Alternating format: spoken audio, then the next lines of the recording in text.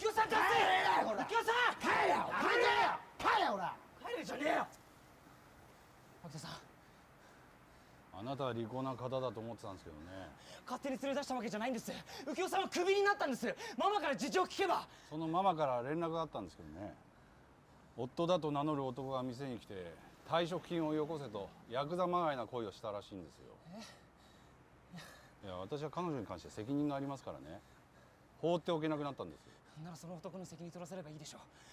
彼女の責任じゃないでしょ厄介な男と結婚した彼女にも責任があります。まあ彼女もすでに同意済みですしね。今度は予想よりも少しハードな仕事になるかもしれませんが。ちょっと待ってくださいよ！脇田さんママから聞いてないんですか？彼女はまるっきり使い物にならないんです。損得を考えるなら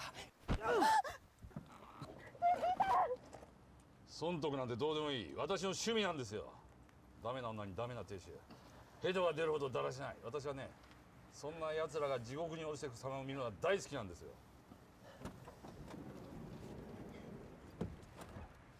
顔を潰した責任をきっちり取ってもらうぞ。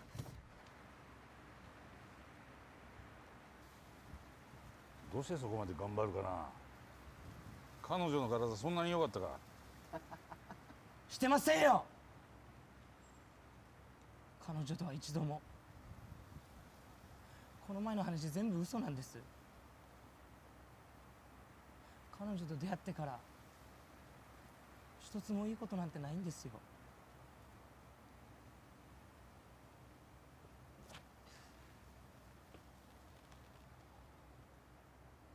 あんたはおかしなこと言う人だな。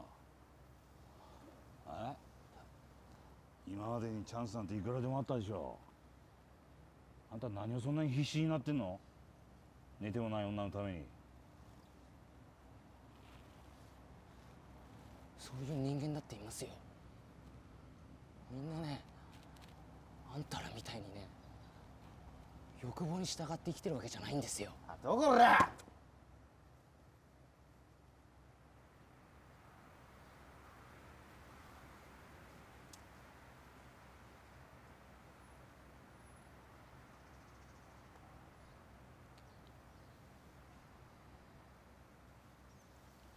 あ手を出したら間違いでした。面倒なことにならないようにわざわざ同意まで取りに来たのに。これじゃ全く意味がない。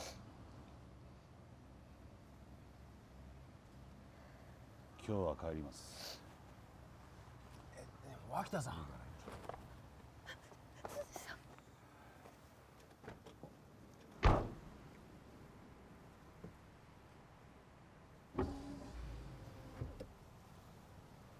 一度も抱いてないなんて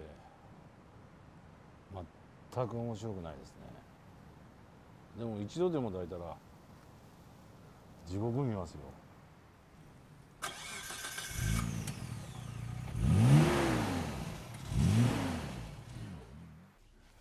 大丈夫ですか？大丈夫。すいません私のせいで。ねこれ怪我？さっきの？あいえ。これは昔のです。君はいつも抵抗しないよね。元はといえば私のせいです。あの私といたら辻さんにまた浮世さんの借金。あの旦那が原因でしょ。そうまでされてなんで別れないかな別れたくないからじゃないの？え違います。私のせいであの人の家族が大変なことになって。だから私から離婚する権利なんてないんです。すいません。これ以上。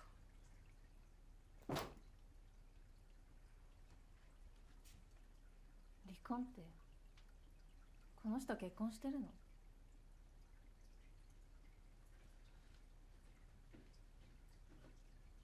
はいどうしちゃったのよ辻君。見ず知らずの。結婚までしてる女の借金肩代わりするなんて。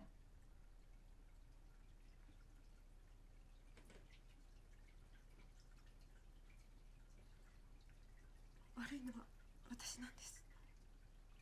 辻さんを責めないでください。そんな言い方して。いつも人の同情を買ってんでしょ。卑怯なのよ。あなたの言い方。すみません先輩先輩。ちょっと。どうして？すみません私が悪いんです。すいません。すいません。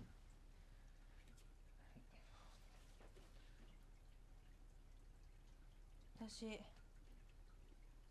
帰らないから。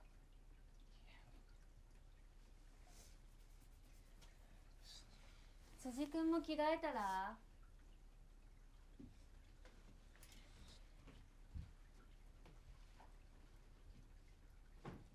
誰に遠慮してんのよいつも通りやってよ。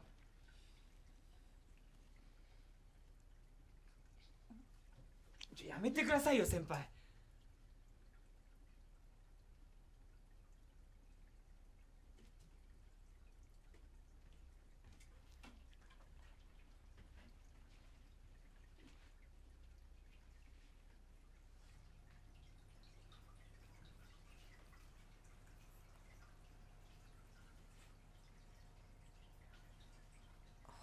さん。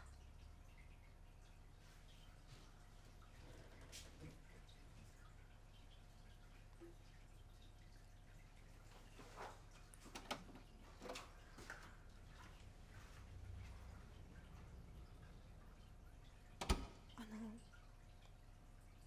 追いかけた方が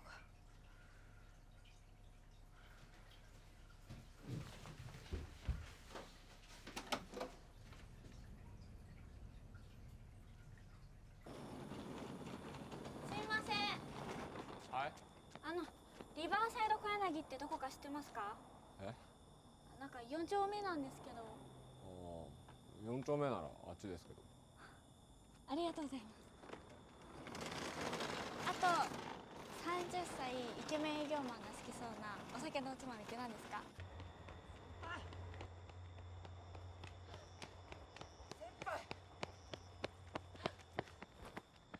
ちょっと待って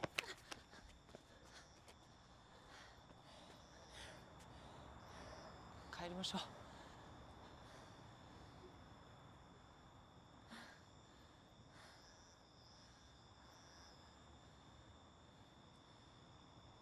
辻君は私のこと好き？好きとか嫌いとか僕と先輩はそういう関係じゃ。そう。誘ったのも私から。お互い束縛し合わないって合意の上でねでも私たち何年になる？辻君は全然心開いてくれないじゃない。それなのに最近会ったあの子のことはもう名前で呼んで。何なのよそれ。それはそれはたまたま。たまたまなわけない。ねえずっと自分を優位に立たせてくれる女が欲しかったってこと？やめてくださいって。彼女は男をダメにするタイプだって。私にはわかるのよ。やめてくださいよ。どうしてみんな彼女のことそういう風に？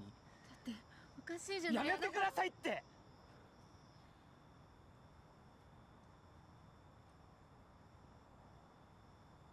女を選んだらきっととんでもない代償を払うことになるから。